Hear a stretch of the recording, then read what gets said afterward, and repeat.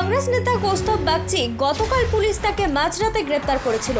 জামিন পাওয়ার পর আজ সকালে তিনি বলেন আমরা প্রতিজ্ঞাবদ্ধ শাসক দলকে এই রাজ্য থেকে উৎখাত করতে যা যা করার আগামী দিনে তাই করব।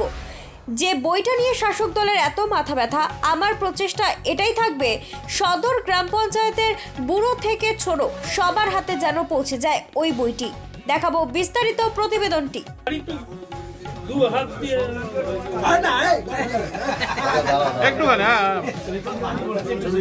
হ্যাঁ, পুরো পুরো পুরো মাগনি এদিকে রাখতে আছে লাইভ হবে লাইভ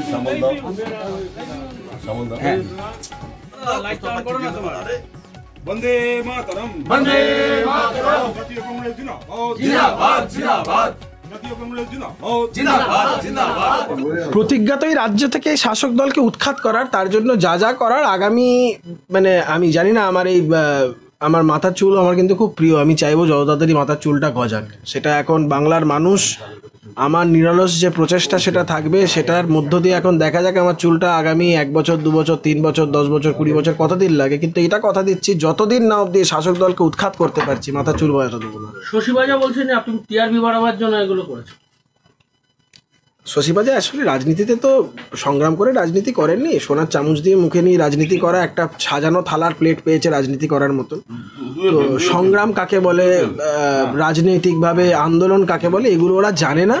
এসব কথাবার্তা বলছে, ভালো কথা। বা আমার থেকে বয়োজ্যেষ্ঠ হাত জোর করে নমস্কার জানানো। তুমি কি আন্দোলনকে আরও এগিয়ে নেওয়ার জন্য কি করবে?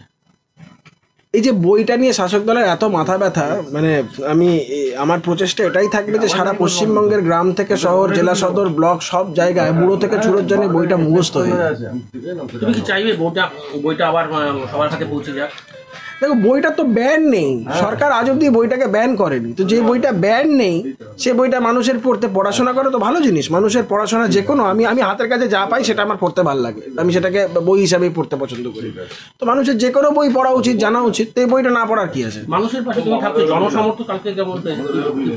আমি অভিভূত মানে বিশেষ করে এই যে মানুষের যে সমর্থন এই সর্ব গোটা বিষয়টাতে শুধু আমার দল বলে না কোর্টের মধ্যে তো যে লয়াররা দাঁড়িয়েছিল সেখানে কংগ্রেস তৃণমূল সিপিএম বিজেপি সমস্ত দলে।